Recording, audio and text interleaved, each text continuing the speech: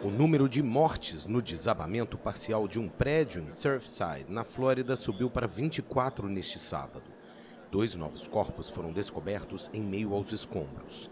Autoridades locais anunciaram que o restante do prédio vai ser demolido, já que a aproximação do furacão Elsa pode colapsar a outra parte da estrutura que ainda resta de pé.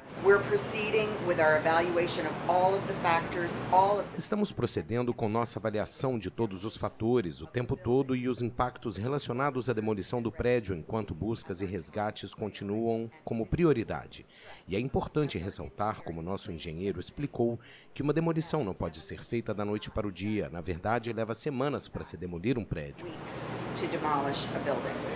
O governador da Flórida, Ron DeSantis, havia dito que o prédio deveria ser demolido antes da chegada de Elsa, que deve atingir o estado americano na noite de segunda para terça-feira. DeSantis alertou que a demolição pode gerar uma interrupção mínima na busca por sobreviventes. Outra preocupação é a detecção de muitos casos de Covid-19 entre uma das equipes de resgate.